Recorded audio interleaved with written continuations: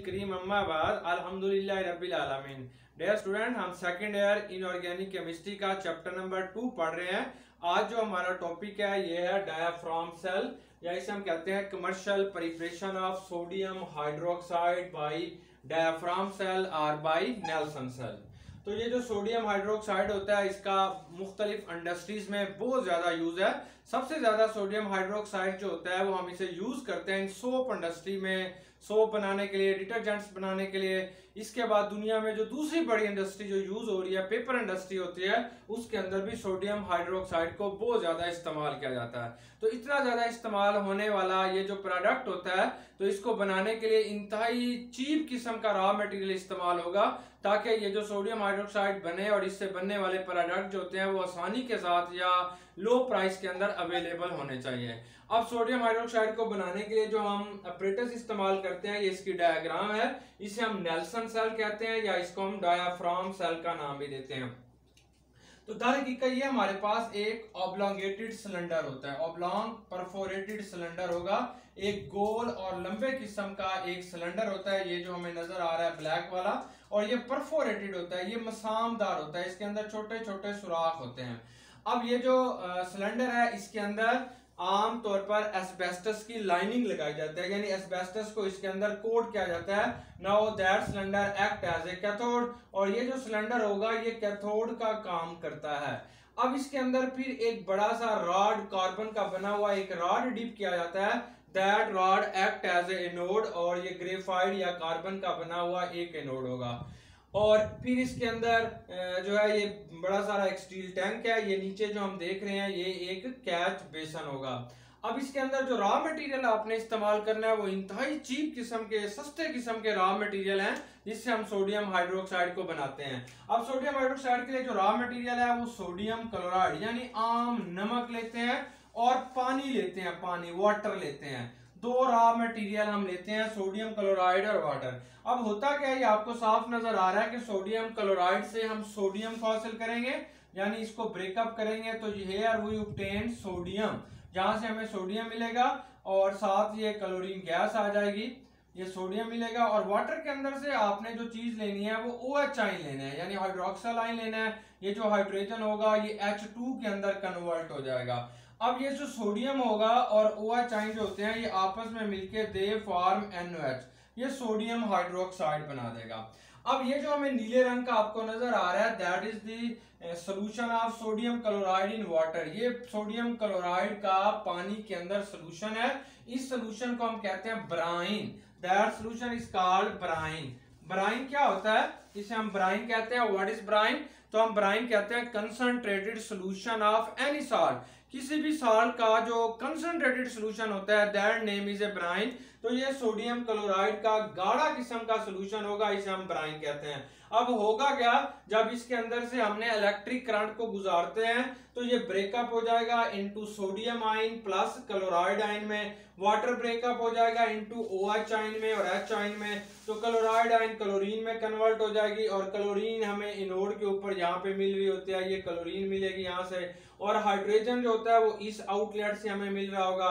इस तरीके से इस मिक्सचर के अंदर से क्लोरीन भी उड़ के चली गई और हाइड्रोजन जो होगा वो भी उड़ के चला गया। बाकी क्या बच गया? सोडियम आइन बच गया और ओ एच आइन बन गया। ये दोनों आपस में मिलेंगे और दे फॉर्म सोडियम हाइड्रोक्साइड तो ये सोडियम हाइड्रोक्साइड बनता हुआ हमें नज़र आ रहा है, क्योंकि ये सिलेंडर परफो रेटेड है, इसके अंदर छोटे छोटे सुराख होते हैं। इन सुराखों से ये सोडियम हाइड्रोक्साइड नीचे गिरेगा और इस कैच बेसन के अंदर हम इसे हासिल कर लेंगे। तो ये इसका इंस्ट्रूमेंट था। अब हम इसके रिएक्शंस पढ़ लेते हैं कि किस तरीके से ये रिएक्शन होंगे।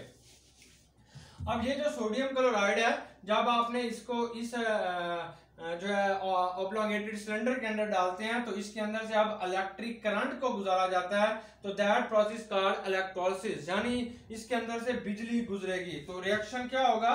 ये हमारे पास इसका रिएक्शन है रिएक्शन आएगा कि हमने सोडियम क्लोराइड को लेते हैं। सोडियम क्लोराइड जो था, जब इसके अंदर से बिजली गुजरती है तो it can be breakup into sodium ion plus chloride ion तो ये जो होगा, ये सोडियम आइन और क्लोराइड आइन के अंदर ब्रेकअप हो जाएगा by the passage of electric current तो दैट प्रोसेस कॉल्ड इलेक्ट्रोलिसिस यानी अगर किसी चीज़ के अंदर से बिजली गुजरे और वो इलेक्ट्रोलाइट पॉजिटिव और नेगेटिव आइन के अंदर तब्दील हो जाता है तो इस प्रोसेस को हमने इलेक्ट्रोलिसिस कहते हैं।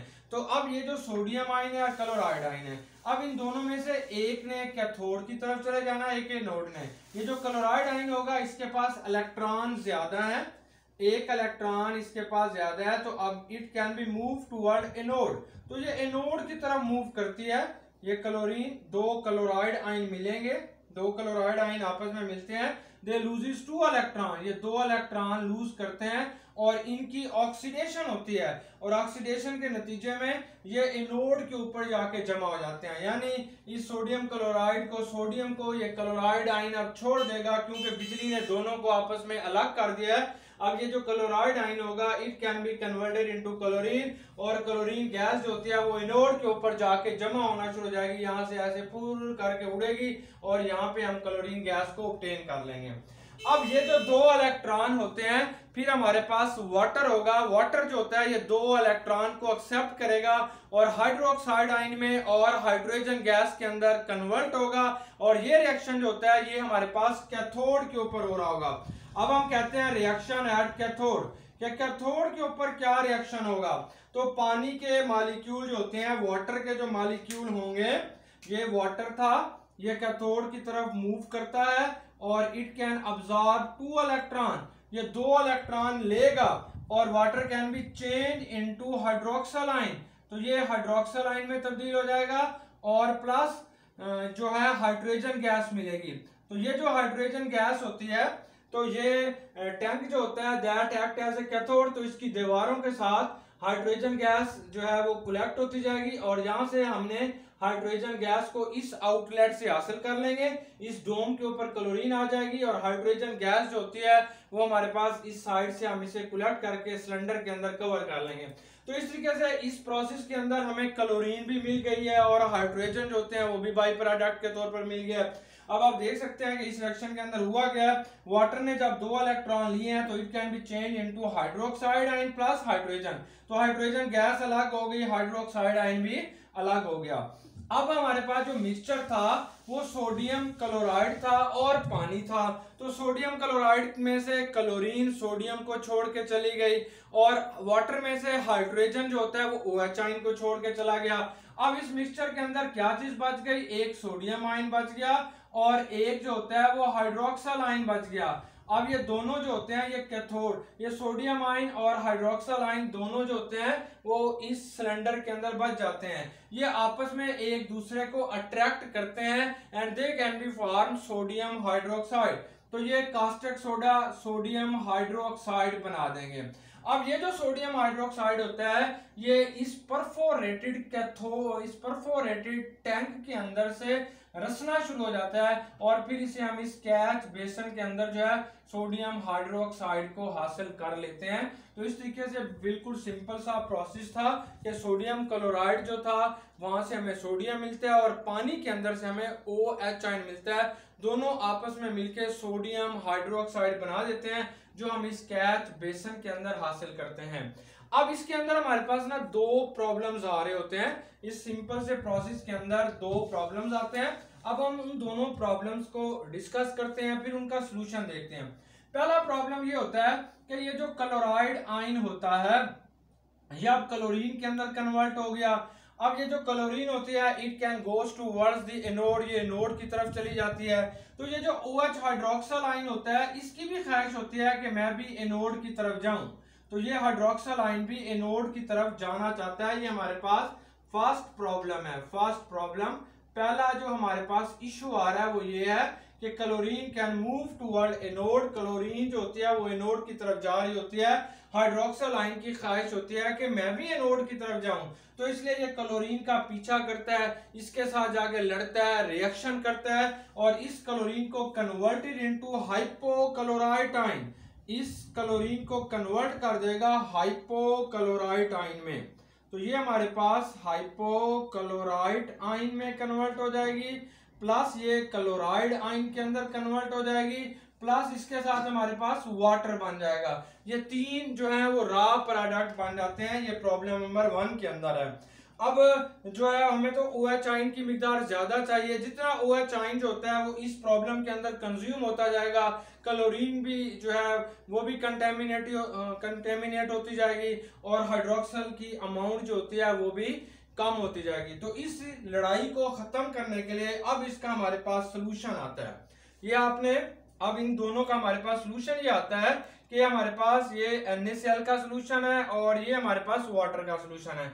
अब इन दोनों के अंदर एक डायाफ्राम को लगा दिया जाता है। यानी ये एक डायाफ्राम है, एक मेम्ब्रेन जो है वो इन सोल्यूशन के अंदर रख दी जाती है। अब ये दोनों, क्योंकि हाइड्रोक्सल आइन और क्लोरा क्लोरीन आपस में लड़ रहे थे, अब इन दोनों को अलग करने के लिए दो अलग कंपार्टमेंट बना दिए जाते हैं, ताकि क्लोरीन और हाइड्रोक्सल आइन ना एक दूसरे को देखे, ना इनके आपस में लड़ाई हो। तो इस तरीके से ये इनके दरमियान में एक डायाफ्राम लगा दिया जाता है। तो इस तरीके से क्लोरीन और ओ एच आइन क्लोराइड आइन और क्लोरीन जो होती है ओ एच आइन जो होते हैं, वो एक दूसरे के करीब नहीं जा सकते, दोनों अलग हो सकते हैं। लेकिन इस मेम्ब्रेन के अंदर एक ये खसूसियत होती है कि ये जो सोडियम आइन होगा it can be move through diaphragm cell toward cathode. ये जो सोडियम होगा, ये कैथोड की तरफ़ मूव कर सकेगा, ये कैथोड की तरफ़ जा सकता है। लेकिन क्लोरीन गैस जो होती है या क्लोराइड आयन जो होगा, वो कैथोड की तरफ़ नहीं जाएगा। सिर्फ़ सोडियम आयन जो होगा, वो कैथोड की तरफ़ जाएगा। और इस तरीके से ये ओ OH के साथ मिलके एनओएच बनाता जाएगा। और क्लोरीन जो होती है, वो जो है इनोड के ऊपर जमा होती जाएगी। OH आइन और क्लोरीन जब एक दूसरे के करीब नहीं होंगे तो दोनों एक दूसरे के साथ रिएक्शन नहीं करेंगे। तो इस तरीके से हम क्लोरीन को और OH आइन को अलग हासिल कर लेते हैं। अब हमारे पास सेकंड प्रॉब्लम आ जाता है। सेकंड प्रॉब्लम इसके अंदर क्या है? ये सेकंड प्रॉब्लम है। सेकंड प्रॉब्लम अब डायाफ्राम सेल के अंदर जो सेकंड प्रॉब्लम आ रहा है, वो ये होता है कि ये जो ओ एच आइन होता है, ये खुद जब एनोड की तरफ़ नहीं जा सकता, इसके ऊपर पाबंदी लग जाती है, यानी it can not move to वाले नोड इसको अपने अलग कर दिया, इसको अलग कंपार्टमेंट के अंदर ले गए तो ये एनोड की तरफ़ ऐसे उछलता है अट्रैक्ट टू वाले नोड एनोड की तरफ़ जंप करता है ओ एच आइन और इस तरीके से ये ओ एच आइन जो होता है वो नोड की तरफ़ जंप करेगा एंड कन्वर्टेड इनटू और अपने आप को कन्वर्ट करता है वाटर के अंदर ऑक्सीजन के अंदर और इसकी जो होती है रिडक्शन यानी ये ऑक्सीडेशन शो करता है और इनोड की तरफ़ जाने की कोशिश करता है, अपने आप को ब्रेकअप कर देता है और मालिक्यूलर ऑक्सीजन के अंदर अपने आप को तोड़ देता है और फिर इस ऑक्सीजन को ये भेजता है क्लोरीन के साथ रिएक्शन करने के लिए ताकि क्लोरीन जो जा रही है उसे किसी ना किसी तरीके से कंटेमिनेट किया जा सके। तो यहाँ पे भी हमारे लिए एक प्रॉब्लम आ गया कि हमें तो ओ एच आइन की मिकदार ज़्यादा चाहिए। जितना ओ एच आइन ज़्यादा होगा सोडियम हाइड्रोक्साइड की मिकदार भी उतना ज़्यादा बनेगी। अगर हाइड्रोक्सल आइन ऑक्सीजन के अंदर कन्वर्ट होता गया तो हमारे पास सोडियम हाइड्रोक्साइड की जो कंसंट्रेशन है, वो तो कम होती जाएगी और सोडियम हाइड्रोक्साइड भी कम हो जाएगा। तो हम दूसरा प्रॉब्लम ये करते हैं। इस प्रॉब्लम का सोल्यूशन जो होता है, वो ये होता है, बड़ा इंटरेस्टिंग सोल्यूशन है इसका। इसका सोल्यूशन अब ये हमारे पास आ जाता है कि ये जो ओ एच आइन है, इसे एनोड से दूर कर दिया जाता है। यानी एनोड की तरफ़ ये देख ही नहीं सकता, यहाँ पे इसकी कंसंट्रेशन को बढ़ा दिया जाता है, एक कांस्टेंट लेवल डिवाइस के अंदर। फिर इसका जो फ्लो ऑफ़ डायरेक्शन होती है it can be it can towards the cathode इसकी जो फ्लो ऑफ़ डायरेक्शन होती है, वो कैथोड की तरफ़ कर दी जाती है, ताकि ओ एच आइन जो होता है, वो इसको एनोड की तरफ़ अट्रैक्ट ही ना हो सके और तेज़ी से बह के यहाँ से चला जाए। तो इस तरीके से हम जो है, वो फिर ओ एच आइन को बचा लेते हैं इनटू डिकम्पोजिशन होने से, ताकि ऑक्सीजन के अंदर टूट ना जाए। अब इस सारे मसाइल के बाद जो हमें सोडियम हाइड्रोक्साइड मिलती है, वो कितने परसेंट होती है? जब ये सारा प्रोसेस कंप्लीट हो जाता है तो मिलने वाली जो सोडियम हाइड्रोक्साइड होती है, वो सिर्फ़ 11 परसेंट होती है। 11 परसेंट इसके अंदर NOH होता है और तकरीबन 16 परसेंट इसके अंदर जो होता है, वो NaCl होगा। 11 परसेंट इसके अंदर NOH होता है और 16 परसेंट इसके अंदर जो होता है वो NaCl होता है। बाकी इसके अंदर पानी होता है। अब हम इस सोल्यूशन को क्या करते हैं? दोबारा गर्म करते हैं हीट करते हैं ऑपरेट करते हैं, ताकि ये सोल्यूशन कंसंट्रेट हो जाए। जब ये कंसंट्रेट हो जाता है तो इसमें मौजूद जो वाटर होगा, उसकी मिकदार जो होती है, बहुत कम हो जाती है। वाटर ज़्यादातर जो होगा, वो एवोपरेट हो जाएगा। अब ये जो सोडियम क्लोराइड होता है, ये लेस सॉल्युबल है। इसलिए sodium chloride can be form crystals जैसे दूध के ऊपर हम दूध को गर्म करें, ऊपर मलाई आ जाती है तो ऐसे सोडियम क्लोराइड जो होगा, इसके क्रिस्टल जो होंगे, ये इस सत्ता के ऊपर आ जाएँगे। और इस तरीके से ये जो सोडियम क्लोराइड होगा, इसको इसकी सत्ता के ऊपर से क्रिस्टल्स की शक्ल में उठा लिया जाएगा। अब जो नीचे लिक्विड बच जाता है, इस लिक्विड के अंदर तकरीबन 50 परसेंट हमारे पास NOH होता है। और वन परसेंट इसके अंदर सिर्फ़ NaCl इम्प्योरिटीज के तौर पर पाया जाता है। और कमर्शियल लेवल पे ये जो सोडियम हाइड्रोक्साइड हमें हासिल हो रहा है, इसमें अगर वन परसेंट NaCl की इम्प्योरिटी है तो इतनी ज़्यादा ये इम्प्योरिटी नहीं होती। तो आई होप डेयर स्टूडेंट कि आपको जो है वो commercial preparation of sodium hydroxide जो है, वो समझ आ गई होगी। वमा अलैना इल्लल बलाग।